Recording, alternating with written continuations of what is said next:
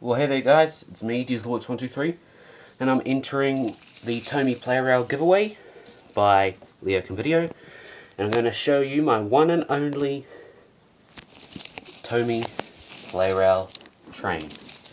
It's very special, and here he is. I have only one, and it's Percy. And I was actually quite happy because Percy is my favourite character. But, as you see, he's got no motor whatsoever.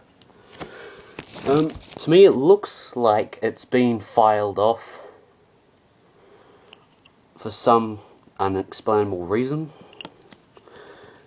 Um, I really like Percy's face on this. He comes with a cute little, cheerful, childish looking face, which I really like. And I have to admit, this actually is quite a good rendition of Percy. Um, he's missing his decals on the end.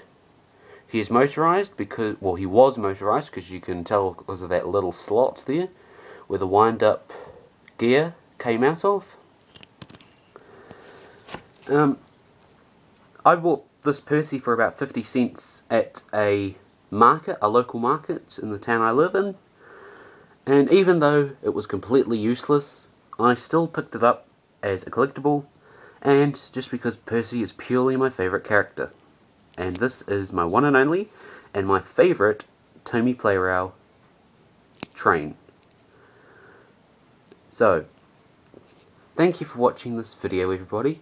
Thank you Leo Kim Video for starting this giveaway. It was one that I was really looking forward to entering.